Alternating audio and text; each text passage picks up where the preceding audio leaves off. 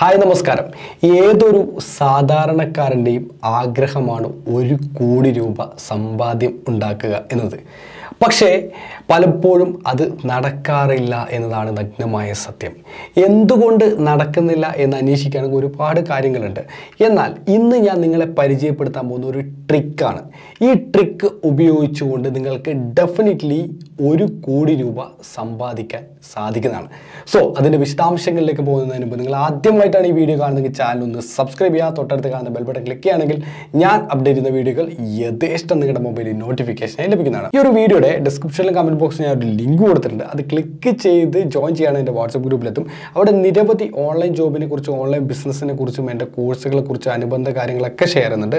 മറക്കാതെ എല്ലാ ആൾക്കാരും എന്റെ വാട്സപ്പ് ഗ്രൂപ്പിൽ ജോയിൻ ചെയ്യാം അപ്പോൾ ഇന്ന് ഞാൻ പറഞ്ഞു തരാൻ പോകുന്ന ഒരു ട്രിക്കാണ് അപ്പോൾ ഈ ഒരു ട്രിക്കിന് മുന്നോടിയായിട്ട് ഞാൻ ഒരു കാര്യം പറയുകയാണ് ഈ ലോകത്തിൽ നല്ല ഇൻവെസ്റ്റ്മെന്റ് ഓപ്പർച്യൂണിറ്റി എന്ത് എന്ന് ഒരു രജിസ്റ്റേർഡ് ആയിട്ടുള്ള ഫിനാൻഷ്യൽ അനലിസ്റ്റിനോട് നമ്മൾ ചോദിച്ചു കഴിഞ്ഞാൽ അല്ലെങ്കിൽ ഏതൊരു ഫിനാൻഷ്യൽ അനലിസ്റ്റിനോട് ചോദിച്ചു കഴിഞ്ഞാൽ അവർ പറയുന്ന ഒരേ ഒരു കാര്യം എന്തായിരിക്കും?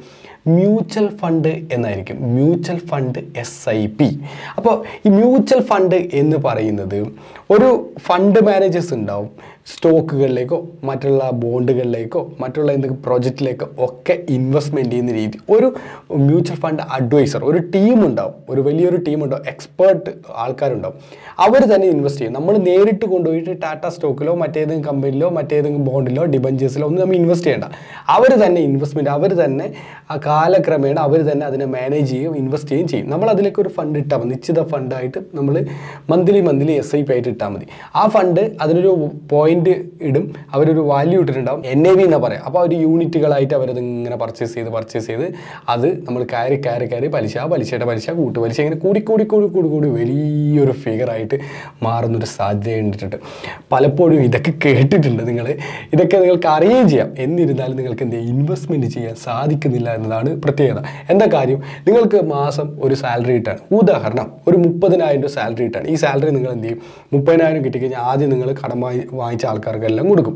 അതുപോലെ തന്നെ നിങ്ങളുടെ അത്യാവശ്യ കാര്യങ്ങൾക്കുള്ള പൈസയൊക്കെ നിങ്ങൾ എടുക്കും. എടുത്തു കഴിഞ്ഞിട്ട് അവസാനം ബാലൻസ് പോക്കറ്റ് എടുത്ത് നോക്കുമ്പോൾ കാലിയായിട്ടുണ്ടാവും. പിന്നെ ആ മാസം ജീവിച്ചു പോകണമെങ്കിൽ മറ്റുള്ള ആൾക്കാരോട് നിന്ന് അവിടുന്ന് ഇവിടുന്ന് ഒക്കെ ആയിട്ട് നമ്മൾ കടമെടുത്തിട്ടാണ് പോകേണ്ട ആവശ്യകത വരുന്നത്. ഇതുകൊണ്ട് തന്നെ പലപ്പോഴും നമുക്ക് ഇൻവെസ്റ്റ്മെന്റ് എന്നതിനെ കുറിച്ച് ചിന്തിക്കാൻ പറ്റുന്നില്ല എന്തിനധികം ഒരു ഇൻഷുറൻസ് പോലും നമുക്ക് എടുക്കാൻ പറ്റുന്നില്ല എന്നതാണ് സത്യാവസ്ഥ എന്ന് പറയുന്നത്. ആരോടും പറയേണ്ട മനസ്സിൽ വെച്ചോളൂ സത്യം അത് തന്നെയാണ്.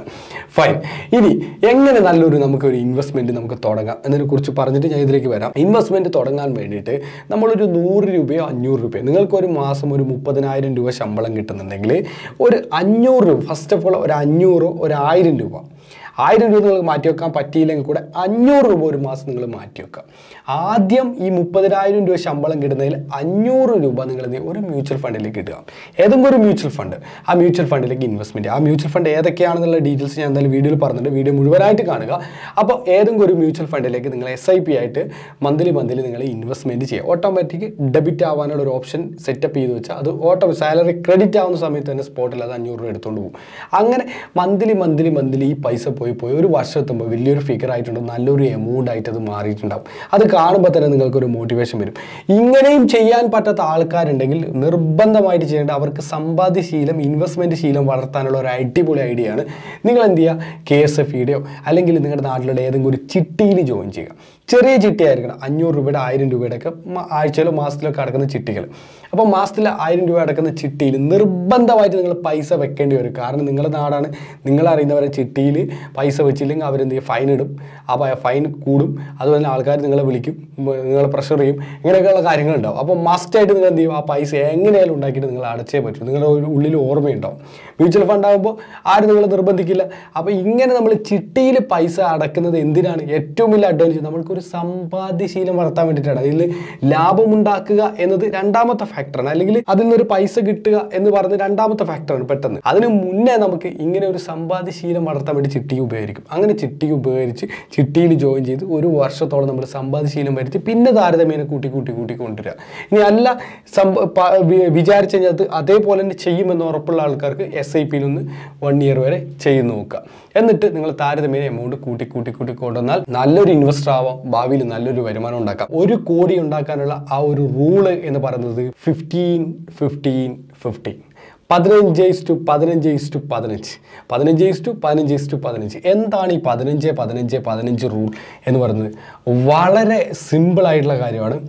മന്ത്ലി പതിനയ്യായിരം രൂപ വെച്ച് പതിനഞ്ച് ശതമാനം റിട്ടേൺ കിട്ടുന്ന ഒരു മാധ്യമത്തിൽ ഇൻവെസ്റ്റ്മെന്റ് ചെയ്തത് പതിനഞ്ച് വർഷത്തേക്ക് ഇൻവെസ്റ്റ്മെന്റ് ചെയ്യുമ്പോൾ കിട്ടുന്ന തുകയാണ് ഒരു കോടി എന്ന് പറയുന്നത്. അതായത് പതിനയ്യായിരം രൂപ മന്ത്ലി വെച്ച് പതിനഞ്ച് ശതമാനം റിട്ടേൺ കിട്ടുന്ന ഒരു മാധ്യമത്തിൽ പതിനഞ്ച് വർഷത്തേക്ക് ഇൻവെസ്റ്റ്മെന്റ് ചെയ്യുമ്പോൾ നമുക്ക് കിട്ടുന്ന തുകയാണ് ഈ പറയുന്ന ഒരു കോടി എന്ന് പറയുന്നത്. അപ്പോൾ അത്രയൊക്കെ ഇൻവെസ്റ്റ്മെന്റ് ചെയ്താൽ ഒരു കോടി കിട്ടുമോ എന്ന് പലർക്കും ഡൗട്ട് ഉണ്ടാവും. തീർച്ചയായിട്ടും ഒരിക്കലും ഇത് കിട്ടില്ല. എന്താ കാര്യം എന്ന് പറഞ്ഞാൽ ഈ ഫണ്ട് ഇപ്പോൾ പതിനയ്യായിരം രൂപ നമ്മൾ ഇൻവെസ്റ്റ്മെന്റ് ചെയ്ത് കഴിഞ്ഞാൽ നമുക്ക് അത്രയും എമൗണ്ട് ആവില്ല. നിങ്ങളൊന്ന് കാൽക്കുലേറ്റ് ചെയ്ത് നോക്കുക. പതിനയ്യ പതിനയ്യായിരം ഇന്റു ഒരു വർഷത്തേക്ക് എത്ര എമൗണ്ട് വരും എന്ന് നിങ്ങളൊന്ന് ജസ്റ്റ് ഒന്ന് കാൽക്കുലേറ്റ് ചെയ്യുക. പതിനയ്യായിരം ഇന്റു ഒരു വർഷത്തേക്ക് നിങ്ങൾക്ക് ഒരു ലക്ഷത്തി എൺപതിനായിരം വരും. ഇന്റു പതിനഞ്ച് വർഷത്തേക്ക് നിങ്ങൾ കൂട്ടി നോക്കുമ്പോൾ ഇരുപത്തിയേഴ് ലക്ഷം രൂപയാണ് വരുന്നത്. ട്വന്റി സെവൻ ലാക്സ് വരെ നമുക്ക് വരുള്ളൂ. അപ്പോൾ എങ്ങനെയാണ് ഇത് ഒരു കോടി രൂപയായിട്ട് മാറുക? അതുണ്ട്. അതാണ് അതിന്റെ ട്രിക്ക് എന്ന് പറയുന്നത്. എസ് ഐ പിയുടെ മാജിക് എന്ന് പറയുന്നത്. അപ്പോൾ നമുക്ക് ഇതിനായിട്ട് ഒരു കാൽക്കുലേറ്റർ ഉപയോഗിക്കാം. ഞാനിവിടെ പരിചയപ്പെടുത്തുന്ന ഗ്രോന്റെ കാൽക്കുലേറ്ററാണ് അപ്പോൾ ഈ ഒരു കാൽക്കുലേറ്ററിൽ എസ് ഐ പി എന്ന് പറഞ്ഞിട്ടുള്ള ഒരു ഓപ്ഷൻ ക്ലിക്ക് ചെയ്തിട്ട് നമ്മൾ പതിനയ്യായിരം രൂപ നമ്മളിവിടെ ഫിഗർ നമുക്ക് എത്ര വേണം മാറ്റി കൊടുക്കാം. ഈ പതിനയ്യായിരം രൂപ നമ്മളിവിടെ കൊടുക്കുകയാണ് ഓക്കെ പതിനയ്യായിരം രൂപ കൊടുത്തിട്ട് നമ്മൾ പതിനഞ്ച് ശതമാനം റിട്ടേൺ പ്രാനം ഒരു വർഷത്തേക്ക് കിട്ടുകയാണ്. അങ്ങനെ പതിനഞ്ച് വർഷത്തേക്ക് ഇട്ട് കഴിഞ്ഞാൽ നിങ്ങളുടെ നോക്കിയ റിട്ടേൺ നോക്കിയ എസ്റ്റിമേറ്റഡ് റിട്ടേൺ ടോട്ടൽ വാല്യൂ ഒരു കോടി അമ്പത്തി ഒരു ലക്ഷത്തി അമ്പത്തിരണ്ടായിരത്തി തൊള്ളായിരത്തി നാൽപ്പത്തി ആറ് രൂപയായിട്ട് നമുക്ക് മാറും. ഇരുപത്തിയേഴ് ലക്ഷം രൂപയാണ് നമുക്ക് നമ്മൾ ഇൻവെസ്റ്റ്മെന്റ് ചെയ്യുന്നത്. നമ്മുടെ റിട്ടേൺ നോക്കിയേ എഴുപത്തി നാല് ലക്ഷത്തി അമ്പത്തിരണ്ടായിരത്തി തൊള്ളായിരത്തി നാൽപ്പത്തി ആറ് രൂപ നമുക്ക് റിട്ടേൺ വരും. നോക്കിയേ ഞെട്ടിപ്പോലെ. ശരിക്കും എത്ര പേര് ഈ പതിനഞ്ച് വർഷത്തിൽ ഇത് ചെയ്യും? ശരിക്കും ഇതില്ലേ? നമ്മൾ ആത്മാർത്ഥമായിട്ട് നമ്മൾ വിചാരിച്ച് മനസ്സുകൊണ്ട് വിചാരിച്ചാൽ പതിനയ്യായിരം രൂപ വെച്ച് നമുക്ക് മന്ത്ലി ഇടാൻ പറ്റും. കാരണം ഈ പതിനയ്യായിരം രൂപ ഇനി കണ്ടെത്തണം. എന്റെ ജോബിൽ നിന്ന് നിലവിൽ കിട്ടുന്ന എമൗണ്ട് കണ്ടെത്താൻ പറ്റില്ലെന്ന് പറഞ്ഞാൽ നിരവധി ഓൺലൈൻ ജോബ്സ് ഒരുപാട് ഓൺലൈൻ പ്രൊജക്റ്റുകൾ ഞാൻ പ്രൊവൈഡ് ചെയ്യുന്നുണ്ട്.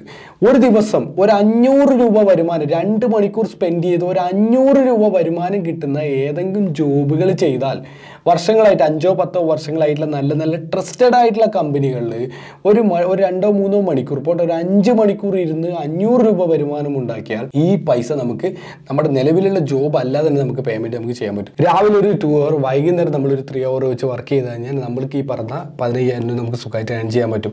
എന്തായാലും നമുക്ക് ഇത്തരത്തിൽ നമുക്ക് പൈസ കിട്ടണമെങ്കിൽ നല്ല ഒരു മ്യൂച്വൽ ഫണ്ടിൽ ഇൻവെസ്റ്റ്മെന്റ് ചെയ്യുക ചെയ്യണം. അത് പതിനഞ്ച് ശതമാനത്തിന് മുകളിൽ ഓരോ വർഷവും വരുമാനം റിട്ടേൺ കൊടുത്തുകൊണ്ടിരിക്കുന്ന നല്ല മ്യൂച്വൽ ഫണ്ടുകൾ. നിങ്ങൾ സിമ്പിളായിട്ട് യൂട്യൂബിൽ കയറിയിട്ട് mutual funds mutual funds space Vineesh Rohini എന്ന് എന്റർ ചെയ്ത എന്റെ കുറച്ച് മ്യൂച്വൽ ഫണ്ടുകൾ നിങ്ങൾക്ക് ഇവിടെ കാണാൻ സാധിക്കും. നോക്കി ഇതൊക്കെ എന്റെ മ്യൂച്വൽ ഫണ്ടുമായി ബന്ധപ്പെട്ടുള്ള വീഡിയോ ആണ്. ഇതിനകത്ത് മ്യൂച്വൽ ഫണ്ട് ഫോർ ബിഗിനേഴ്സ് എന്ന് പറഞ്ഞിട്ടുള്ള ഒരു ഓപ്ഷൻ കൊടുത്തിട്ടുണ്ട്. ഒരു എങ്ങനെയാണ് മ്യൂച്വൽ ഫണ്ട് ഒരു തുടക്കക്കാരൻ നമുക്ക് ചെയ്യാം?